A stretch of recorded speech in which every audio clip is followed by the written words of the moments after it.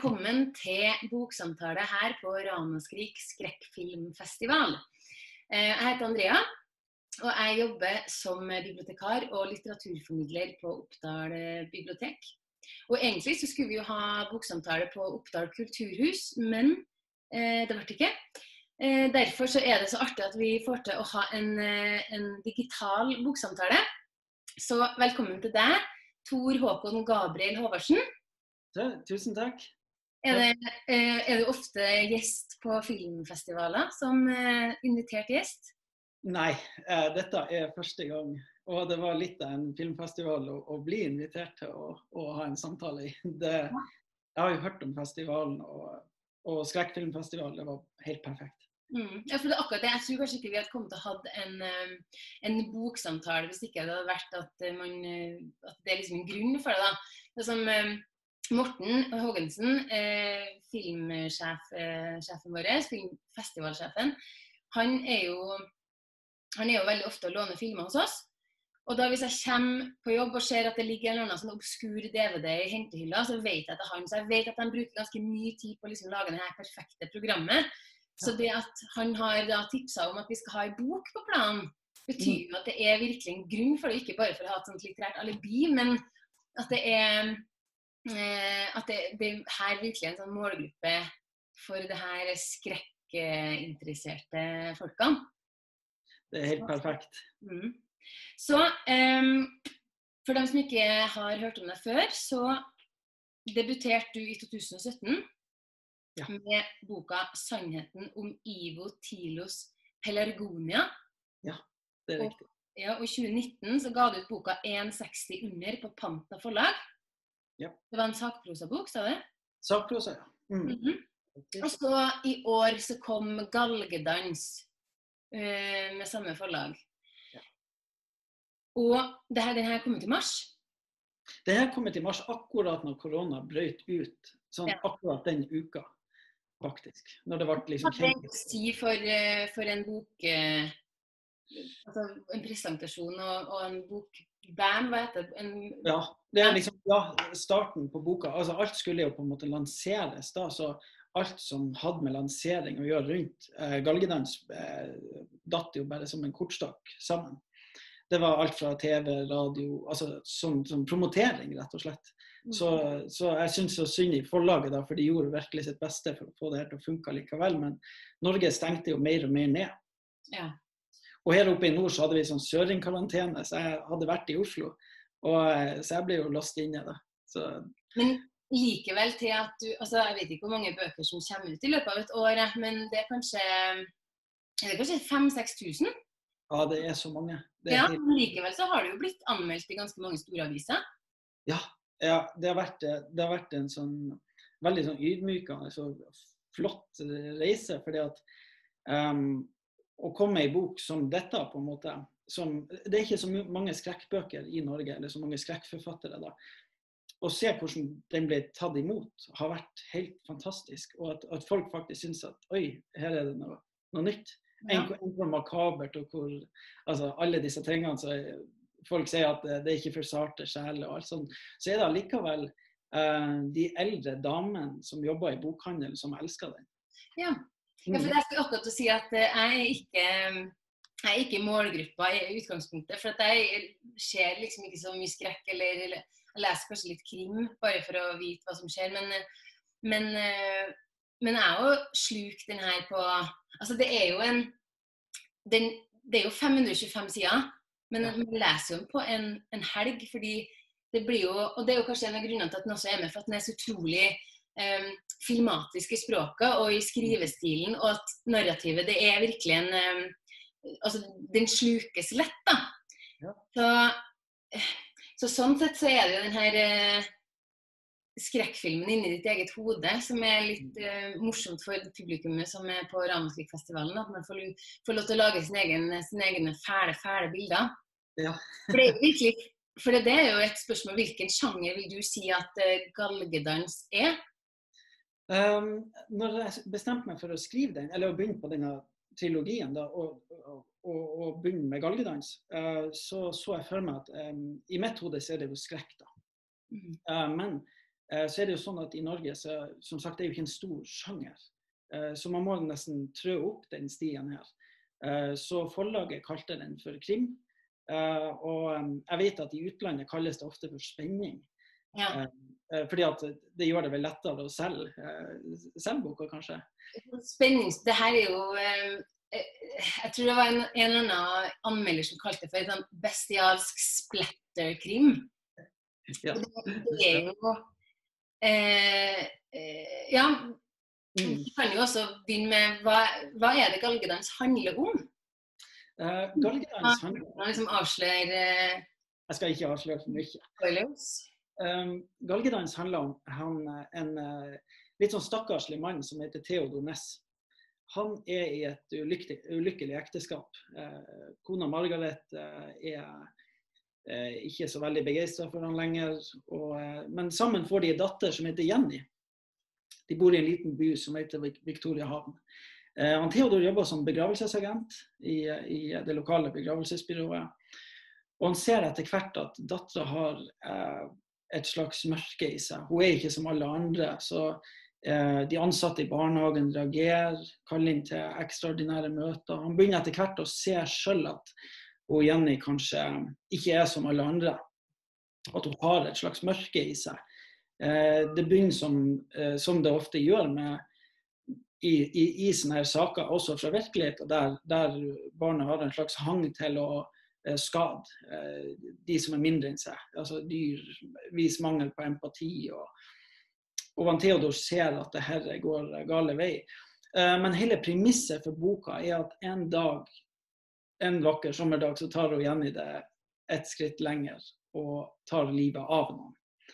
Og da står han Theodor i en unik posisjon til å enten eh, tilkalle politiet, eller gjøre det han kan gjøre best, og det å kvitte seg med døde mennesker. Ja. Mm. Han jobber som eh, gravferdskonsulent, ja. og det gjør jo du òg. Det gjør jeg òg. Så det har jo vært et spennende konsept å utforske. eh, Ja. På alle mulige måter, egentlig. Men har du Hva er ditt, hva er ditt forhold til skrekkfilm og sånn fra før? Eller skrekklitteratur? Mm. Um, skrekkfilm og skrekklitteratur har alltid vært stort uh, hjemme. uh, hos oss. Jeg fikk lov hos mora mi og den lokale bibliotekaren faktisk, til hun, hun bibliotekaren hun er død i dag, da, men hun heter Ellen. Hun skaffa meg Stephen King, uh, Lovecraft-bøker og Edgar Allan Poe. Samlinger, oftest på engelsk, for jeg vet ikke hvor masse som er oversatt, i hvert fall da. Men hun ga meg disse tingene litt sånn under bordet. Det var det videregående skolebiblioteket, så hun fikk tak i det, og jeg fikk lov å låne de litt sånn under bordet. Men da du gikk på videregående, eller? Nei, da gikk jeg på barneskole. Ja, ja. Og det her var veldig tidlig. Og mora mi til eksempelvis, når jeg var liten, så så vi 'Nightmare on Elm Street'-serien i lag, for mamma har alltid vært glad i skrekkfilm. Og på en måte hun ga meg et slags sunt forhold til det der at dette er ikke ekte, dette er bare, dette er bare fantasi og det er juks. Men jeg tror det hadde veldig mye å si for meg, i hvert fall den dag i dag, eh, å utvikle eh, denne fantasien. Ja. Eh, det hadde mye å si. Ja, for jeg, eh, jeg leste jo en, eh, det var noen forskere i Danmark og USA som hadde funnet ut at de som er glad i horrorfilm, Mhm. eh, takler sånne pandemier bedre. Ja. Fordi at de har sånn fantasi til å Eller kanskje litt mer sånn på alerten, eller Jeg tror kanskje bare man tar det litt Er ikke så lettskremt, på en måte. Og jeg tror også at mange, eh, kanskje de også som ser på nå, i hvert fall jeg, sånn at kanskje de som ser mye på skrekkfilm og sånn, har et slags eh, Ikke behov, men mindre behov for kontakt med andre. Eh, man liker å låse seg inn i denne verden.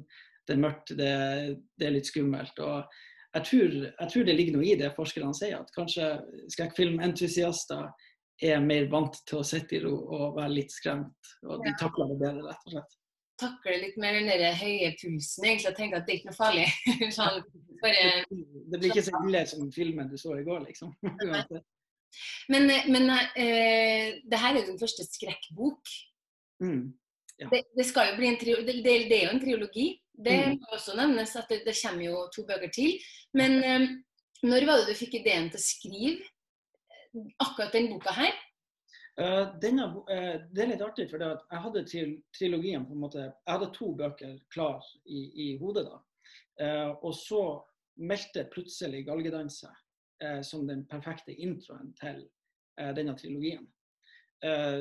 og jeg tror ideen kom gradvis, e-, egentlig mens jeg skrev den boka som heter 160 under, som handler om å jobbe i begravelsesbyrå. Der skrev jeg et avsnitt om rettsmedisin, og så slo det meg at det er ingen som har bedre forutsetning for å ta livet av folk og komme unna med det, enn jeg mm. og mine kollegaer. For vi er veldig tidlig på åstedet. Vi, kan, vi har tilgang til krematoriet, til kirkegården. Til, altså, vi har tilgang til så masse. Så det var et, sånn tror jeg ideen om galgedans meldte seg. Eh, det var sånn det begynte. Ja, for det er noen, eh, det er noen scener i boka hvor, hvor, jeg nettopp har tenkt veldig mye på eh, Theodor sin stilling. da. Mm. Det som du sier med at eh, fordi det, det, å jobbe som gravferdskonsulent Som regel så møter vi jo dem bare på begravelsen, og, og da er man egentlig bare sånne dresskledde skygger i bakgrunnen. Men mm. alt det som gjøres eh, eh når man finner vedkommende mm. Eh, det er det som er så kult med boka. At, man, at uh, om ikke de her uniformkledde morderne har vært skumle nok fra før av, hvor mye man stoler på en, en, en uniform, mm. så har vi plutselig fått en ny, uh, en ny gruppe mennesker å være redd for. ja. Kanskje jeg skjøt meg sjøl litt i foten med å, med å spise. ja. Det er i hvert fall uh, Ja det, det, er kult i hvert fall hvordan man får litt sånn innblikk i det yrket her. Mm. Men også beskrivelsene av, uh, av de døde menneskene. Mm. Der sitter jo også med en fordel fordi du har faktisk skjedd Du, du ser døde mennesker hver dag. Hver dag? Hver dag. Ja. Og, uh, vi har um, Jeg tror på en måte uh, at mange forskjellige forfattere da har sine styrker. der du har politifolk eller eh, rettsadvokater som på en måte eh, strafferettsadvokater som, som, kan skrive de mest perfekte, vanntette krimbøkene. Fordi at de vet fra A til Å saksgang og eventualiteter. på en måte, Mens jeg har ikke den. Jeg, jeg vet ikke hva som foregår under et avhør, annet enn det jeg ser på film. Men jeg vet nøyaktig hvordan døde mennesker ser ut. Og jeg vet hvordan de lukter, jeg vet hvordan de ser ut hvis de er påkjørt, har hengt seg, brent, skutt seg. Altså, jeg vet disse tingene. Så det er kanskje min styrke.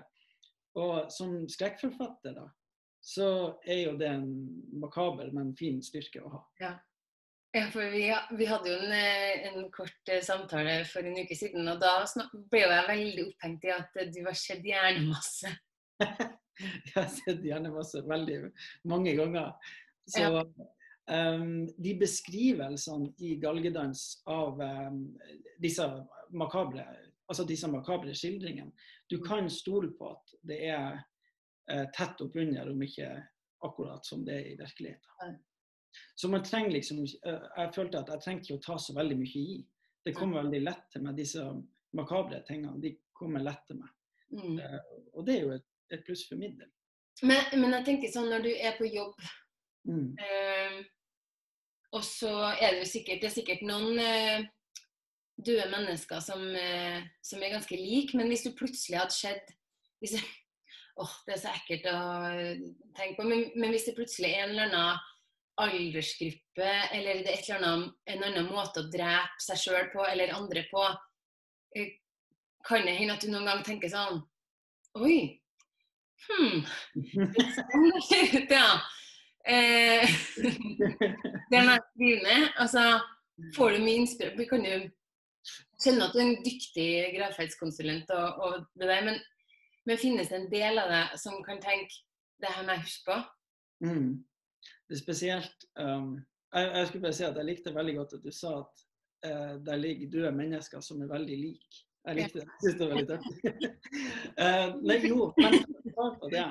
Um, jo, uh, der er man, jeg tror man møter så uh, Man møter på såpass masse uh, nytt og utfordrende i løpet av et år at noe av det gir inspirasjon til en eller annen historie. Men ofte så er det ikke uh, måten de ser ut på, men det er på en måte omstendighetene rundt det. For når du kommer inn i et rom og la oss si at noen har skutt seg, så er det første du merker, er stillheten. Og så merker du hvor kaldt det er. Altså det er en sånn veldig, veldig kald følelse i rommet. Der man kanskje ellers går inn i et rom med en død person, og så er nesten lufta litt sånn elektrisk. Eh, for det har akkurat vært pårørende der, ambulansen har vært der, prøvd å gjenopplive. Men når noen har tatt livet sitt på en, en um, grusom måte, da, så er det så kaldt og så stille og så håpløst at du blir på en måte, Det er den følelsen du sitter igjen med. Så jeg kan godt stå med hjernemasse i hendene og, og, og, på en måte prøve å lappe i hopen det som er igjen av hodet. Men det jeg tar med meg hjem, og som kanskje gir inspirasjon til masse av de historiene jeg skriver, er den stillheten og den, altså den, den er så ekkel. Den er så, så potent for, for, en skrekkelig følelse. Mm. Jeg tror det er mye det som inspirerer. Det, det, det emosjonelle rundt det. Og så er det sikkert sånn at, eh, at når du har den følelsen hver dag òg. Eller sånn, i hvert fall borti den i forskjellige mm. grader, så det er kanskje lettere å finne når du skriver alene. Ja. Tapper, tapper lett inn i den kilda, da. Ja. Så, tenker, hvis det var jeg som hadde skrevet det, så hadde jeg kanskje, og skulle hatt opplevd det, eh, så har jeg så, og ikke jobba sånn, eh, så ville jeg jo erindre tilbake til den ene gangen jeg så noen dø. Og så mm. hadde jeg bare den, og så mm. må jeg liksom tenke tilbake. Altså, det er sikkert derfor at jeg, at jeg tenker at det der er så vanskelig. Men du gjør jo det her hele tida. Mm. Så det er klart lettere for deg å sette deg inn i den her elektriske døde, mm. døde ja. Ja. Nei, men det, det jeg, jeg, tror det er den beste måten å si det på, egentlig. At det, det er der det ligger. Og, og den kilden der blir jo liksom ikke tom. For det er, også, det er jo litt sånn som du spurte om, at om jeg av og til ser nye ting, og jeg gjør jo det. Så er det sånn, der jeg faktisk blir sånn wow. Ja. Dette var wow. så, så, på en måte Nå blir det en bok! Nå blir det en ny bok. Ja. Nei, altså, nei, men det, jeg, jeg, tror det er, jeg, jeg, tror det er riktig uh, å si det sånn. Mm. Mm. Hadde du um, hele boka klar fra før av, eller er du en av dem som lar karakterene leve sitt eget eh, litterære liv? Um, ja, um, jeg hadde meste Altså, premisset var jo klart. Og, og karakterene var klare. Slutten var soleklar. Altså, det, det var den beste hele tida. Mm. Um, men når man setter seg ned og skriver, så lar man seg rive med, og så går jo på en måte bare fingrene over tastaturet, og så skjer det ting som kanskje jeg ikke forutså det skal jo ikke mer til enn at f.eks. en karakter sier en replikk som er litt overraskende også for den som skriver. Mm. Uh, der jeg tenker at oi, det var et skifte i karakterutviklinga uh, som jeg ikke forutså. Uh, men da må man på en måte bare være med på den dansen. Og, og enten kan du stole på deg sjøl nok til å være med, eller så kan du begynne på nytt, eller prøve å tvinge en karakter til å bli noe som de kanskje ikke er ment å være. Det, er sånn, det, det, er en ganske kul prosess. Jeg skrev ferdig boka som følger etter den, og det var akkurat det samme. Jeg hadde slutten klar, jeg visste alt som skulle skje, men det skjedde ufattelig mange ting jeg ikke hadde peiling på skulle skje underveis. Så det er like spennende hver gang. Men jeg, tror du det har noe med at det er en skrekkbok, eller ville du gjort det samme, eller gjorde du det samme med Fordi den første boka du skrev, var ikke skrekk? Nei, det var mer sånn uh, fantasy uh, for ja. barn og ungdom, nesten. Eh, men hadde du, hadde du da slutten klar der òg? Ja. Ja, ok. Ja. Så det er sånn som du jobber generelt? Det hadde ikke noe med, med antall liksom Nei, jeg tror, jeg tror, jeg liker å ha slutten. For det er ofte, ofte, Det er dit på en måte en forfatter eller eh, hvem som helst som gjør noe eh, kreativt, tror jeg streber etter å komme seg i mål eh, med et prosjekt. Så hvis man har slutten, så er det eh, mye, en mye klarere vei å gå. I hvert fall sånn for meg. Det er garantert ikke sånn for alle, men jeg liker den prosessen. Ja. Mm. Men du nevnte liksom det Lovecraft, og, og, og Lovecraft blir jo eh, nevnt også i boka. Ja. Um, er det, har jeg, jeg har ikke lest noe Lovecraft eh, sjøl, jeg har bare sett den serien på HBO.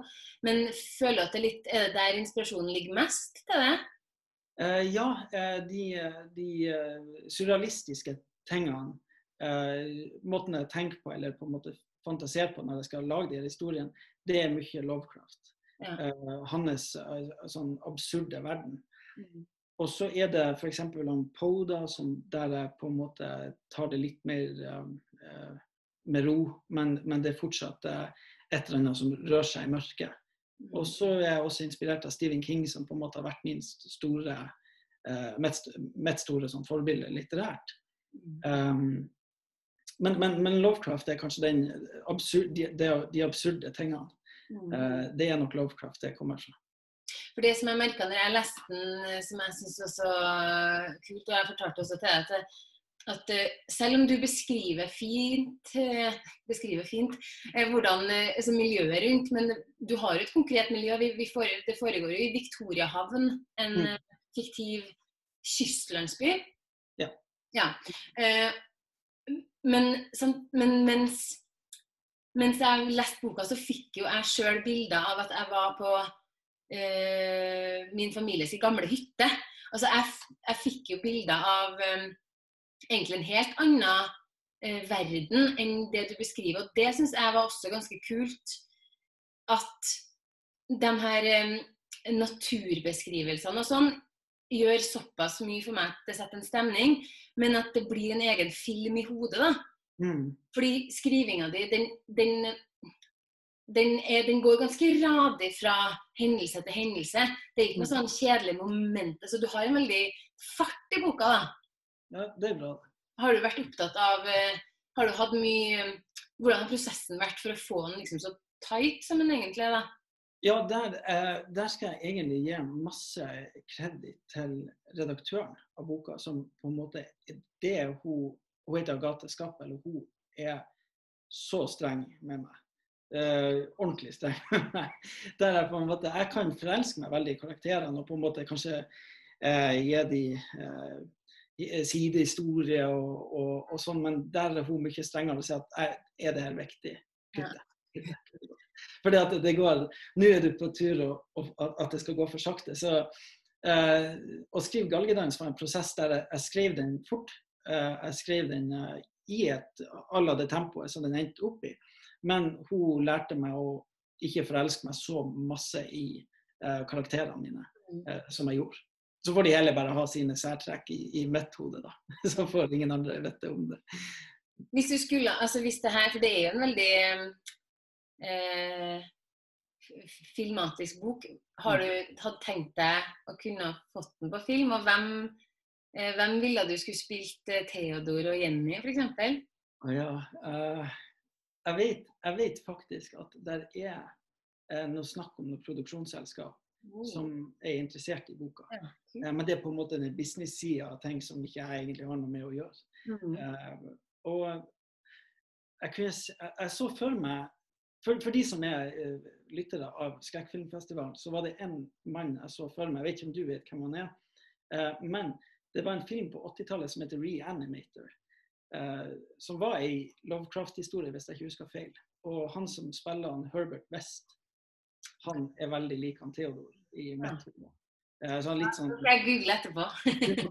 han har sånn djupe, veldig svart hår, djupe vikebriller. Altså han, han minner meg veldig om han.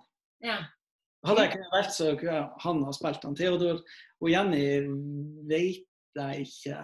Jeg vet ærlig talt ikke. Hun er, hun er veldig sånn Hun er veldig pen, pen jente, hun Jenny, da, men hun er jo veldig farlig.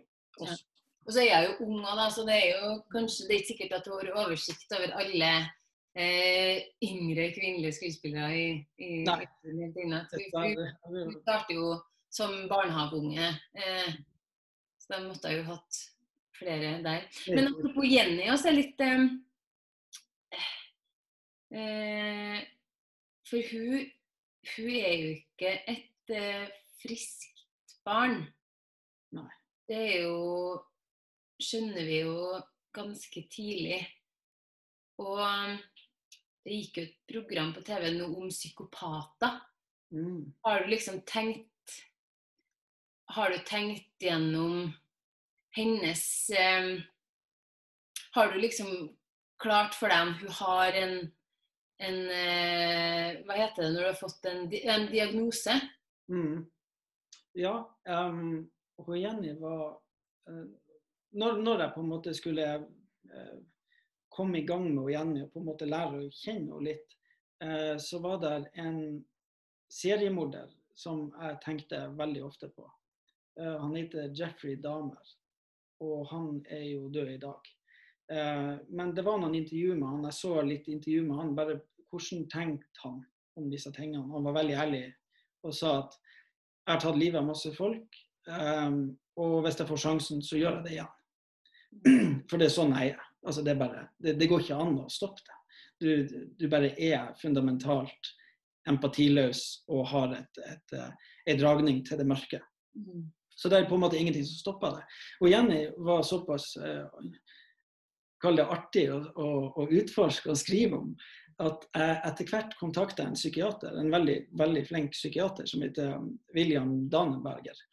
Og vi spiste vafler og drakk te og snakka i timevis om Jenny.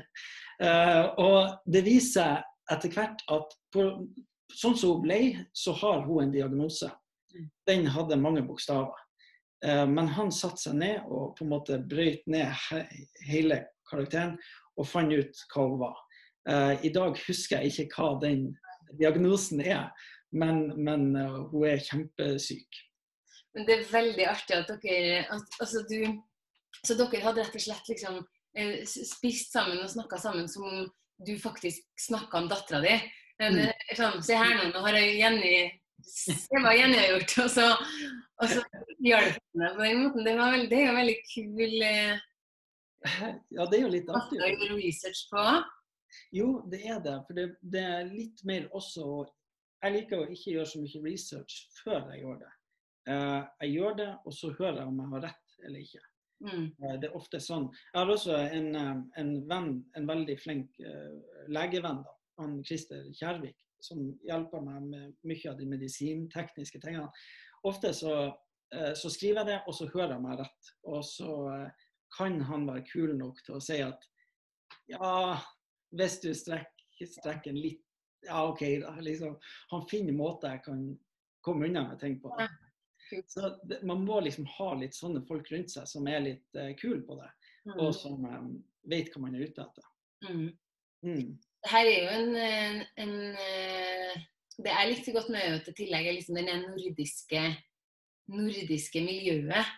Mm. Du har Selv selv i mitt hode så hopper vi fra sted til sted uansett, men, eh, men eh, det er jo det er jo denne spletterverdenen i en nordisk kystby. Det er jo eh, det verste man kan tenke seg. Og er, du fikk jo, sa det jo innledningsvis her, at det er ganske mange viser som faktisk har anmeldt boka di. Mm. Og det som er ganske artig, er jo at du har fått du har fått ganske mange gode terningkast. Mm. Eh, nå kan man jo si at terningkast er jo det, det, kan man jo bry seg om så mye man vil, det. Men du har også fått eh, i hvert fall ett dårlig terningkast. Ja. Et slags terningkast jeg fikk, jeg fikk totalslakt. Jeg fikk terningkast én. Ja. Det er den minste terningen.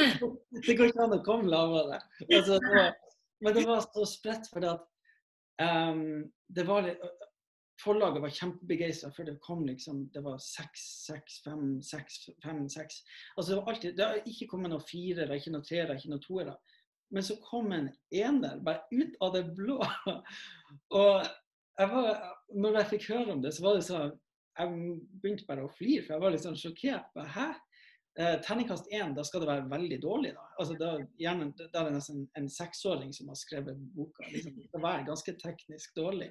Så jeg, jeg forsto jo fort at dette var en, en, anmelder som var veldig, veldig støtt av, av boka. Og jeg forsto det vel sånn at, eh, at, hun Ja, hun var kanskje ikke forberedt på det. Nei. Eh, det er det som er litt interessant, og at det er altså krim og, og skrekklitteratur, sikkert også, og, og, spesielt også filmbransjen, er jo en helt annen sjanger. Det, det er jo ikke alltid at um, Det er liksom um, Noen ganger så blir det sett på litt sånn underkultur, holdt jeg på å si. Eh, litt mindre verdt, kan eller, eller sånn. At Ja. det er vel kanskje dramafilmer og skjønnlitterære bøker som, som, som drar inn alle prisene. Sånn Mm. at eh, det å få eh, For Adressa tror jeg fikk- ga han fem eller seks. Ja. Eh, og, og, og der sto det vel Og det var vel Stavanger Aftenblad som hadde gitt en ener. Og Mm. ikke at det er viktig hvilke aviser, men, men det sier jo um, det sier jo litt om, om målgruppa òg. At de, sånn som jeg også sa, jeg leser jo ikke så mye krim eller ser så mye skrekk. Um, så er jeg egentlig den beste til å vurdere en sånn bok.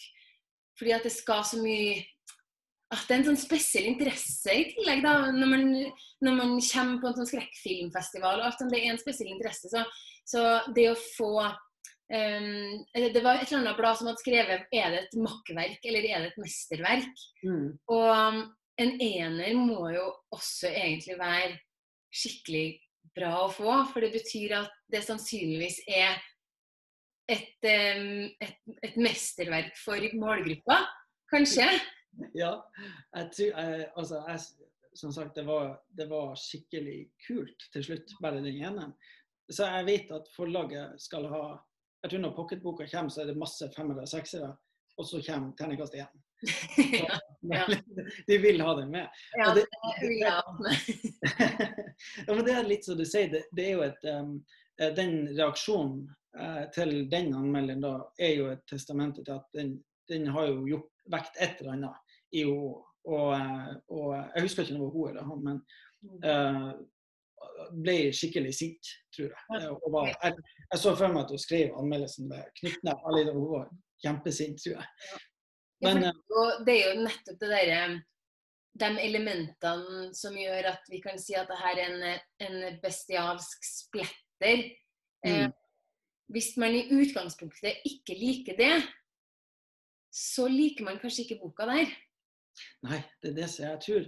For de som er glad i skrekk um, og så, Sånn som jeg var, jeg er og var, har alltid vært glad i splettere. Uh, de gamle B-filmer, 80-tall, 70-tall. Altså skikkelig splett. For det har så mye humor i seg òg. Og så uendelige mengder med mørk humor.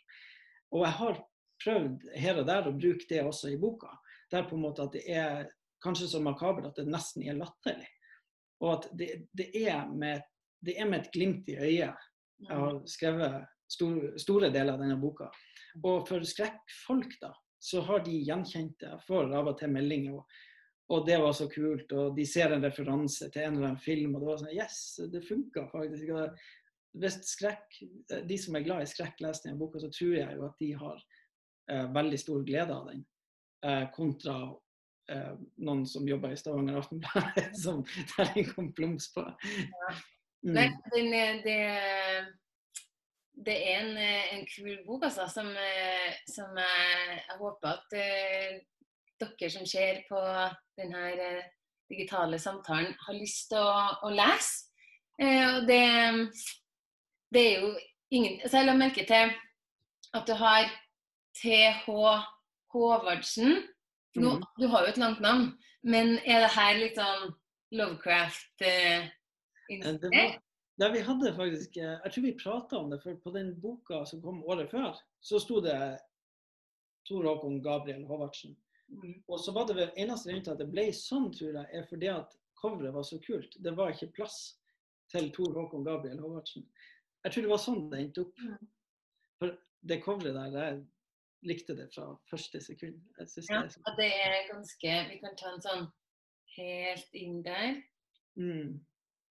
Det, det, det setter stemninga med en gang. Ja, det er kult. Det er veldig um, og så er det, det er så mange ting eh, Vi begynner jo å nærme oss slutten her. Det er veldig mange ting jeg skulle ha gått dypere inn på. Men fordi jeg er redd for å spoile, så er det nesten så vi skulle tatt en, eh, en ny samtale når andre boka kommer ut. For jeg, eh, det må være lov å spoile bok som er flere år gammel.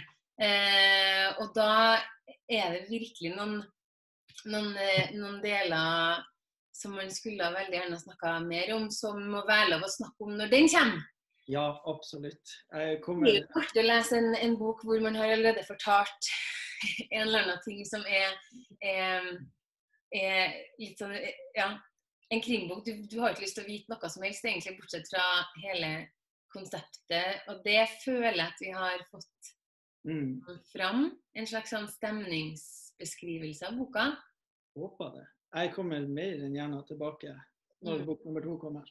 Vet du når nummer to kommer? Jeg uh, tenker ca. samme. Det er februar-mars, rundt der. Den er Ja. ferdig skrevet for lenge siden, så den ligger bare og venter. Ja.